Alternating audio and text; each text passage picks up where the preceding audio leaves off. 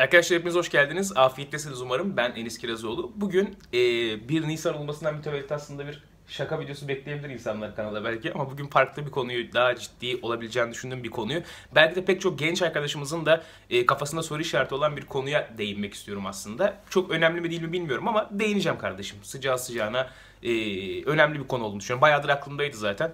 E, bu da bugün de bilmiyorum bir duygu yoğunluğu hissettiğim için özellikle paylaşmak istedim size. Şimdi geçen gün bir haber çıktı. Üzücü bir haberdi bu. Biliyorsunuz YGS sınavı oldu ve YGS sınavına böyle birkaç dakika geç kaldığı için giremeyen insanlar oldu. Bu insanlardan bir tanesi de bir öğrenci de genç bir e, kız kardeşimiz de maalesef yaşamına son vermiş sınava giremediği için. Şimdi bu yani acı. Yani bu pek çok noktada pek çok farklı şekilde ele alabileceğimiz ve üzerine konuşabileceğimiz bir konu ama benim değerlendirmem doğru olmaz bu konuyu şu anda. Ben sadece işin sınava girecek insanlar boyutundan bir iki bir şey paylaşmak istiyorum. Hani o stresi yaşamış, o dönemden geçmiş ve çok az da olsa bir tecrübesi olan bir insan olarak buna değinmek istiyorum. Şimdi sınava girecek var mı aranızda? Giren çıkan ve onun moral bozukluğunu yaşayan var mı yok mu bilmiyorum. İnanın sınav gerçekten çok özellikle üniversiteye giriş sınavı bizim için böyle Türk aile yapısında genelde böyle hani achievement'lardan bir tanesidir. Hani giremezsen ya şöyle bakılır genelde. Yani benim gördüğüm kadarıyla %60-%70 toplum şöyle bakıyor. Üniversiteye girdin, yukarıdasın, tamamdır, hayatı tamamladın, bitmiştir artık olay. Kazanamadın, her şey çok kötü, iğrenç. Hayat bundan sonra senin için hiç güzel olmayacaktır. Ben sınavı kazanamadım. Ee, onu söyleyebilirim yani. Sınavı kazanmayan pek çok insan tan- tanıdım. Sınavı kazanan pek çok insan tanıdım. Ee, şunu söyleyeyim. Belki bu yorumuma kızacak olan aile üyeleri olacaktır ama sınav bir boka yaramıyor. Açık ve net olarak bunu söyleyebilirim sizlere. Üniversiteye girmek hiçbir şey değiştirmiyor. Üniversiteye girmek sizi hayatı bambaşka bir pencereden açmıyor. Özellikle Türkiye'de şu anda hiçbir şekilde açmıyor. Bunun birkaç sebebi var. Birincisi artık üniversite eğitimlerinin içi boş. Ve firmalar o kadar çok üniversiteden mezun olan o kadar çok fazla insan var ki firmalar işe alımlarda sadece sizin okuduğunuz eğitimlere bile artık takılmamaya başlıyor. Tabii ki çok fazla üniversite mesela Boğaziçi Üniversitesi, bilmem ne üniversitesi çok böyle marka üniversiteler tabii ki de fark yaratıyor. Doğrudur. Veya çok böyle işin teknik eğitimini almanız gereken yerler de bir fark yaratıyordur. Doğrudur ama en önemlisi her zaman için şu. Siz üniversite sınavına niye giriyorsunuz? Mesela ben üniversite sınavına girdiğim zaman inanın hayatta ne yapmak istediğime dair hiçbir fikrim yoktu. Yani üniversitede bir bölüm tutturmak veya şu bölümü okusam mı acaba dedim. Yani belki ya isim olarak güzel gelenler vardı hani. Ulan bunun ismi güzelmiş bu okunabilir aslında falan dediklerim vardı. Veya bu bana yakın olur mu diye ama inanın hiçbir fikrim yoktu. Ve eminim ki pek çok insanın da hiçbir fikri yok. Sadece size söylenen bak bunun geleceği var, bunun geleceği yok. Bu meslek çok iyi, bu meslek gelecekli ama şunu söyleyeyim ki bir meslek içinde geleceği her zaman için siz yaratıyorsunuz. Bunun için en önemli şey o mesleği gerçekten yapıp yapmamak istediğinize karar vermek olacak. Şimdi bu genç yaşta bir insan için çok zor bir şey. Yani bir anda hayata dair böyle herhangi bir bilgi birikimi okulda almıyorsunuz. Yani okul size sadece belli bir e, teknik eğitim veriyor. Bazı öğretmenler var belki size hayata karşı eğitiyor ama yani çoğumuz sadece teknik matematik öğreniyoruz, fen öğreniyoruz tamam ama hani hayattan ne beklememiz gerektiğine dair veya ne yapmak istediğimize dair hiçbir şekilde eğitim almıyoruz ve bu eğitim almamamızın ardından da bir sınavla karşılaşıyoruz ve bu sınavda da hayatımızı yön verecek belki de mesleğimizi seçmemiz gerekecek bir e, önümüze hedef konuluyor. Şimdi ailelerde şöyle bir bakış açısı var. Tabii aileleri burada kötülemek için söylemiyorum kesinlikle ama e, biraz bilinçsizce bir e, ailelerde şey var. Yönlendirme var çocukları. Yani bu bilinçsizlik şuradan kaynaklanıyor. Ailelerin de sınava bakış açısı aman çocuk giremezse biter. Aman çocuk giremezse ölür. Aman çocuk giremezse yaşayamaz. Aman çocuk giremezse iyi eğitim alamazsa meslek bulamaz durumunda. Bu korkuyu anlayabiliyorum çünkü işsizlik seviyesi çok yüksek bir seviye ama inanın olay her zaman için sizde bitiyor. Okuduğunuz üniversitede değil. Yani hangi üniversiteyi nasıl ve ne şartlarda okursanız okuyun hiçbir şekilde e, bir hayatın, iyi bir hayatın garantisi hiçbir zaman olmayacak. Burada en önemli şey her zaman için bakın genç, özellikle genç arkadaşlarımı söylüyorum. Belki de yaşı daha küçük, daha sınava uzun zaman sonra girecek arkadaşlarımız vardır aramızda belki de. Onlar için şunu söyleyeyim ki hayattan ne beklediğinize dair bir fikriniz yavaş yavaş oluşmaya başlasın. Bu çok zor bir şey ama kendinizi şekillendirmeye başlayın. Yani okuldan, okul hayatından bağımsız olarak hoşunuza giden şeylerin üzerinde bir şeyler koymayı düşünün. Yani ben bundan hoşlanıyorum. Keşke bu benim mesleğim olsa diyebileceğiniz şeyleri arayış içerisinde olun ve ona göre bir hayat standardı belirleyin. Şimdi üniversite okurken bile şöyle bir sıkıntı var mesela. Herkes üniversite okuyor tamam mı? 1 milyon insan aynı anda aynı e, yeri okuyor ve o 1 milyon insanın girebileceği sadece 100 bin tane açık pozisyon var. Şimdi 900 bin insan dışarıda mı kalacak? Burada her zaman için fark üniversite okurken kendinizi geliştirmeniz, kendi yolunuzu çizmeniz oluyor. Ben mesela açık söyleyeyim 2 sene dış ticaret okudum. 2 yıl. Ee, dış ticaretle ilgili hiçbir şey yapmıyorum. Ee, okul ve öğrenim hayatım bana hiçbir şey katmadı desem yalan olur. Tek katlı şey sosyolojik olarak farklı bir kültür görmüş oldum. Ben hep İstanbul'da yaşamış bir insandım. Hiç şehir dışında bir hayat sürmemiştim. Ama ilk defa Afyon'a gittiğim zaman yani yuvadan çıkıp bambaşka bir yerde yaşamaya başlayınca hayat görüşünüz de bambaşka bir hale geliyor ve hayat tecrübesi kazanıyorsunuz. Yani okulun bana kattığı şey hayat tecrübesi oldu. Ama mesela şu an dönüp baktığım zaman o iki yılımı kayıp olarak görüyorum. Gerçekten hani benim için bir kayıp gibiydi yani. Hani bunu şu anlamda söylemiyorum. Üniversite okumayın çok kötü bir şey değil bu. Yanlış bir bölümde okuduğunuz zaman, yanlış bir şey zoraki bir şekilde girdiğiniz zaman gerçekten hayat sizin için bir kayıp haline gelmeye başlayabiliyor. Yani bir şeyi okuyup onu sonra yapmak istemediğinizi fark etmek gerçekten acı ve geri dönüşü olmayan bir tecrübe. Yani tek geri dönüşü olmayan şey şu hayatta zaman. Siz de biliyorsunuz zaten bunu. Ve onu boşa bir şey harcadıktan sonra ve 5 yıl sonra ulan aslında ben bunu hiç yapmak istemiyormuşum ya dedikten sonra aslında işlerin çok da geri dönülemez olduğunu fark ediyorsunuz. Yani benim eşim bile belki hani istemediği pek çok şeyi okurken yapmak zorunda kaldı yani. Ve yani sonradan pişman oldu belki de bilmiyorum yani. Çok yorum yapmak istemiyorum şu an bu konu hakkında ama kendisi güzel bir üniversitede okumuştur. Güzel de bir bölüm okumuştur. Benim gibi tembel teneke değildir yani. E, ben de tembel değilim bu arada. Yani öyle şey yapmıyorum. Mesela derslerde hep kitap okurdum ama yanlış derslerde okurdum. Matematik dersinde okurdum mesela. Hoca beni kovardı falan sınıfta. E, bu kitap okudum diye kovulmuştum ya dersten biliyor musunuz? yani kitap mı okuyorsun falan. Aileme falan şikayet etmişlerdi.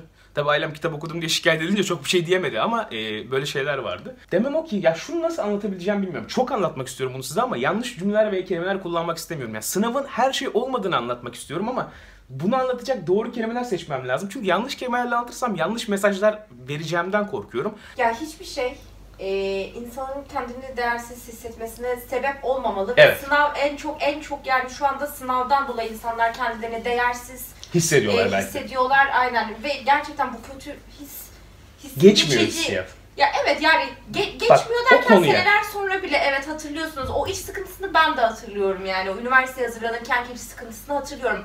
Yani sıkıntı olarak kaldı. Ha geçiyor o zamanlar illaki geçiyor ama e, yani kendilerini değersiz hissetmesinler. Kimse değersiz değil yani. Bence bu Onu konu üzerine gidilebilir evet. Ben de aslında bahsetmek istediğim bir tanesi buydu. Senin dediğin doğru. Mesela şu an ben bir hayatta sıkıntıyla karşılaştığım zaman şöyle bir mekanizma oluşturabiliyorum kendi kendime. Bir sıkıntı var ve bu sıkıntıyı aşarız bir şekilde. Çözeriz. Ama insan daha gençken o an yaşadığı tüm sıkıntıları hayatının sonuna kadar sürdürecekmiş gibi hissediyor. Mesela sınavı kazanamamak da olabilir. Bu kız arkadaşından ayrılmak da olabilir belki de. Yani çok ağır ergenlik zamanlarımızda çok ağır uf- olaylar yani çok ufak olaylardan çok ağır depresyonlara giriyoruz ve bu depresyonları hayatımızın merkezine empoze ediyoruz.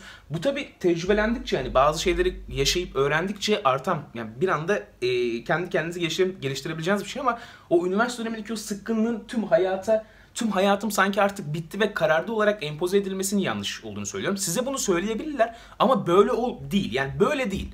Onu bilin. Yani üniversite sizin kurtuluşunuz olsa bile bir kere bir şeye girme hakkınız yok. Üç kere gir, beş kere gir, altı kere gir, gerekirse sonra gir. Hala okuyor Şebnem. Evet Şebnem hala bir öğrenci. yapacağım da. e, doktorasını yapacak yani. Ee, hani gerçekten okumanın zaten yaşı yok ama hani okumak sizin hayatınızın asıl gayesi olabilir ama başka bir şey yapmak için yani birilerinin bir şey demesi sebebiyle ben okumak zorundayım. Hayır okuyamadım mı Allah'ım neler oluyor olayına girmeniz ve kendinizi depresif hale sokmanız üzücü sadece yani. Hani eğer öyle yapıyorsanız üzücü. Bunu nasıl kırabilirsiniz? Bunu söylemek zor bir şey değil mi? Yani hani şunu yaparsanız o depresifliği hissetmezseniz ya bu yaşamakla alakalı bir şey. Yani yaşayıp görmekle alakalı bir şey ama yani hiçbir şey çözülümü olmayan bir durum olmamalı sizin için. Her şey kendi işinizde. Yani insanın aradığı güç kendi içindedir diye bir şey var ya yani. O güce sahip olduğumuzu ben düşünüyorum gerçekten. Yani bir şey yapmak istiyorsak yapabiliriz. Hani şu hiçbir zaman bir çare değil. Bir şey olmadı mı? Bizde şey odağı var. Bu işte dışarıdan gelen etkenlerle alakalı. Bir sıkıntı yaşadığımız zaman hemen kabuğa çekilme ve Allah'ım bundan sonra hayat hep böyle olacak. Vah vah vah durumumuz var ama Melankoliyi seviyor olabilir miyiz acaba? evet milletçe melankoliyi seviyor Melankoli olabiliriz. Ya ben çok kötü çıktım neyse ben gidiyorum. Biraz da şurada durayım. Yani milletçe böyle bir belki de melankoli seviyoruz ama şu yani çözüm odaklı bakmıyoruz. Bir sorun olduğu zaman o sorunu çok dillendirmeyi seviyoruz ama sorunu bir kenara koyup bu sorunu nasıl çözebiliriz dillendirmek çok hoşumuza gitmiyor. Genelde hep sorun sorun sorun. Mesela atıyorum bu ay kirayı ödeyemedik. Allah'ım kirayı ödeyemedik ki ödedik bu arada. Kirayı ödeyemedik. kirayı hayır şundan bahsediyorum sadece örnek olsun diye. Kirayı ödeyemedik. Allah'ım neden kirayı ödeyemiyoruz? Biz ne oldu kirayı ödeyemiyoruz? Allah'ım kira kira kira. Ama bu dinleniyor ama şu dillenmiyor mesela. Kirayı nasıl ödeyeceğiz?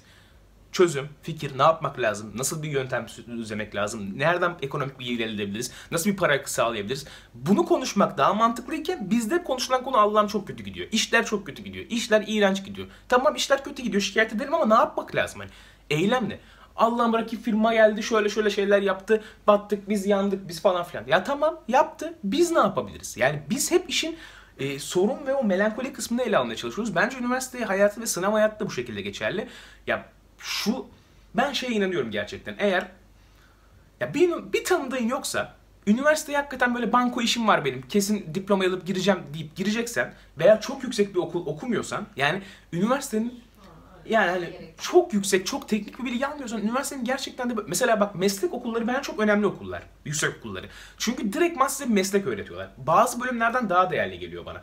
Yani bir mesela mekatronik sallıyorum şu an veya bilmem ne veya X bir şey. iki yıllık okullardan bahsediyorum veya meslek liselerinden bahsediyorum.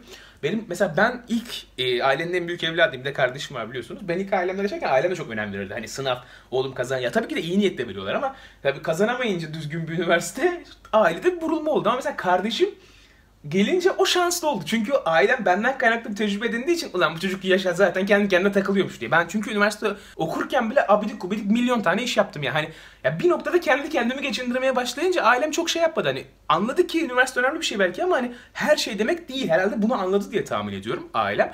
Ve kardeşim benim olduğum döneme gelince biraz daha şanslıydı. Çünkü ailemle beraber konuşup hani yöneticileri ne yapalım? Furkan'ı nereye yollayalım? Nasıl olsun falan diye konuşuldu. Ve yani çok açık fikirlilerdi o zaman. Yani illa 4 yıllık üniversite okuyacak, bilmem ne olacak, dershanelere gidecek, şey gidecek. Hani bu kadar saplantılı düşünceler yoktu. Çünkü anladılar biz sistemin olması gerekiyor. Mesela ben şey dedim eğer çocuk bilgisayarla alakalıysa eğer programcılık okusun dedim. Direkt meslek lisesinde programcılık okusun yani. O sırada kendini geliştirsin dışarıdan. Çünkü ya programcılık ya 4 yıl belki de kazanamayacağı üniversiteyi okumaktansa meslek lisesinde böyle programcılık okuyup oradan 2 yıl onun hemen tamamlaması sonra da 2 yıl açık öğretimde tamamlaması daha pratik, basit ve bilgisayarı sevdiği için de daha çok hoşuna gidebilecek bir şey olabilir. Ama herkes de bu şansa sahip değil mesela. Ben de belki e, farklı bir yolda gidebilirdim, gitmedim. Belki daha iyi olabilirdim, belki daha kötü olabilirdim bilmiyorum ama sadece ailenizde belki bir büyüğünüz varsa bu tarz konularda biraz hakim olan hani onun üzerine gitmek çok önemli ama aile varsa eğer burada seyreden belki de genç çocuk sahibi insanlar varsa ki varlar biliyorum konuştuk bir iki kere yani böyle hani daha yeni e, e, çocuk yetiştiren insanlara. Yani insanları okul okumaktan ziyade kendi olmaları gerektiğini bence öğretmek gerekiyor. Çünkü okul ne derse desin ailenin dediği şeyler bir insana en çok yaralayan şeyler Aa, oluyor. Olmaz ama yani şimdi bak dün çocuğu güzel güzel okullar kazanacak gelecek bizim çocuk kazanamayacak mı? İşte bu yok. Bu, bu X bu istemediğimiz şey yani. Başkalarının üzerine gösterilen örnekleri hiç sallama. Ya çünkü şöyle bir şey var. Şu örnek hepimiz duyduğu bir örnek. El alem ya işte hep el El alem. Bilmem kimin çocuğu bilmem ne yapmış. Ulan o zaman ben de derim ki böyle şey tabii ki denmez yani. Ben derim ki bilmem kimin annesi babası ne yapmış. Yani bunun sonu var mı yani? Yok hani bu rekabete girme. Bilmem nenin annesi çocuğuna 100 bin lira vermiş. Hadi çıkar ver. Yani böyle bir şey olabilir mi yani? Hani ya böyle bir kıstas yok yani. Ya şey örnekleri mesela ailemizden çok o şey. Haberler çok sever bu şeyleri mesela. Ha, evet. İşte Hakkari'de dağda yaşıyordu, çobandı, gitti üniversite sınavını kazandı. Ya helal olsun kazansın. Bunda bir şey yok da hani o haber çıkınca ailenin şöyle sana bakması, tipine tükürdüm deyip gitmesi falan ya hani ya bunlar öyle bir şey yaşamadım ben de yani. Hani bunlar Ya, duyduğumuz hikayeler yani. Ne bileyim işte helal olsun çocuğa demesi bile mesela Ya, olsun. orada böyle şey yapıyor yani sanki ben çok kötüyüm falan diye o hissiyatı veriyor tabii. Yani bunlar başkalarıyla kıyaslamak gerçekten hiç umrunuzda bile olmaması lazım yani. Siz kendinizi tanıyacaksınız, kendi kendinizi kıyaslayacaksınız. Geçen sene şunu yapıyordum, bu sene bunu yapabiliyorum demeniz lazım yani. Ama bu kıstası hep kendi içinizde yapmanız lazım. Çünkü siz başkalarıyla rekabet bir yarış halinde çoğu zaman değilsiniz aslında. Ve hani kendinize başkalarına bakmadan kendinizi geliştirmeye odaklandığınız zaman çok daha hızlı odaklanırsınız. Çünkü ya kendinize x birim, ya kendinize 10 saat ayırabilecek durumdayken onun 8 saatini başkalarına ne yapmışlar acaba bunlar diye baktığınız zaman kendinizi de geliştiremiyorsunuz zaten. Ee, o yüzden velhasıl kelam artık yavaş yavaş noktalamak gerekirse şunu söyleyeyim son olarak. Üniversite sınavları önemlidir tabii ki. Güzel bir üniversite okumak herkesin istediği bir şeydir. Sosyal açıdan sizleri çok geliştirir. Ama hayatınızın merkezi olan bir şey değil. Sosyal açıdan pek çok farklı yerde geliştirebilirsiniz. Sadece farkındalığınızı yüksek tutun. Yani hayatın bir ayı, bir senesi, dört senesi bile bakın üniversitede belki beş sene geçireceksiniz. Hayatınızın beş senesi bile çok kısa bir sene. Ee, ve o beş senenin ardından bile bambaşka bir şey başlayıp onun üzerinden bir meslek edinebilirsiniz. Yani hiçbir şey belirleyici değildir. 30 yaşından sonra bambaşka bir kariyere yönelme ihtimaliniz bile var şu hayatta yani. Ee, sadece bir şey isteyin. Bir şey isteyin ya. Ben hani bunu yapmak istiyorum diyeyim ve korkmayın yapacağınız şeyden. Dürüst olun kendinize karşı. Başkalarına karşı yalan söyleseniz bile kendinize karşı dürüst olun. Kendinizi geliştirmeye çalışın. Başkalarıyla kıyaslandığınız zaman da kulağınızı kapatın. Yani ailenize şey çıkışı yapın demiyor. Yani benim video göstererek bak lan bu adam ne diyor falan deyip beni burada yani ailelerimize çok saygı duyuyorum. Onda bir sıkıntı yok. Zaten ben aileleri suçlamıyorum. Sadece orada bir safiyane bir bilinçsizlik olduğunu düşünüyorum. Çünkü onların zamanıyla şu anki zaman arasında çok fark var eğer hani aynı yaşta olduğumuzu varsayarsak konuşuyorum. Çünkü onların zamanında lise mezunu olmak bile çok büyük bir olayken, üniversite mezunu olmak hayatı hakikaten çok çok değiştiriyorken şu anda o değil. Şu an öyle bir durum yok. Şu an milyon tane üniversite var ve ya milyon tane üniversitenin içinde milyon tane içi boş eğitim var ve hani buradan mezun olunca insanlar şu üzücü bir şey. Bak bu daha üzücü bir şey. Düşünsene. Üniversiteye girince hayatın kurtulacak diyorlar sana. 4 yıl boyunca giriyorsun, okuyorsun. Kesin bak bu yaşayan kesin benim gibi bir sürü insan vardı. 4 yıl boyunca giriyorsun, okuyorsun. Üniversite bitiyor. Ve çırılçıplaksın böyle. E şimdi ne yapıyoruz? Hiçbir şey. Yani şimdi asıl şimdi başlıyor hayat diyor insanlar sana yani. Ve fark ediyorsun ki o üniversite okup hayat kurtulma şeyleri boşmuş. Yani bomboşmuş yani. Bunu bir sürü işsize sorabilirsiniz gerçekten. Burada hiç üniversite okumak başlı başına sadece hiçbir şey getirmiyor Türkiye'de. Ee, üniversite okumanın yanında pek çok meziyet eklemeniz lazım ki hayatta bir noktaya gelebilelim. Ama en önemli şey bence istediğiniz noktaya gelmeye çalışmak. Başkalarının söylediği noktalar değil, kendi istediğiniz noktaya her zaman için ulaşmaya çalışmanız en güzel olur. Umarım belki bir iki kişiye rahatlatıcı bir video olmuştur. Ya bir kişi bile rahatlasa bu videodan veya bir kişi bile aslında evet ya o kadar takmamız gerekiyorsa benim için yeterdir. Ee, kendinize iyi bakın. Hayatta hiçbir şey sizden değerli değil. Hayatta hiçbir şey kendinizden değerli değil. Bu arada hazır onun üzerine de üzülmesinler eğer kötü bir şey varsa. Kötü bir şey sakın üzülmeyin. Yani üzül, elbet üzülebilirsiniz ama bunu Ya, hayatınızın merkezi haline getirmeyin yani. Üzüldün geçtin dersini çıkar devam et. Önemli değil. Yarın yeni bir gün olacak. Akşam kafanı koyup sabah uyandığın zaman başka gözler sana iyi bakmasa bile o gözleri görmeyebilirsin. O gözler sana bir ay iyi bakmaz kötü bakmaz çok önemli değil. Hayat senin hayatın. Başkaları için yaşamaman lazım. Saygı çerçevesinde kendinizi hayatınızın merkezinize koyabilirsiniz ama saygıyı elden bırakmayın diğer insanlara karşı. Ya çünkü hayatın merkezine kendini koymak da şey ben, oluyor. ben falan diye Ben ben ben değilim. Ben ben Öyle değil bir yani. şey yok tabii Ha, toplumsal şekilde. faydayı da bir noktada koyup hayatınızın merkezinize kendinize kıymet vermeyi unutmayın diyorum. Hepinizi öpüyorum. Güzel günler geçirin. Güzel vakitler geçirin. Unutmayın genç arkadaşlarım sizlere de selamlar olsun.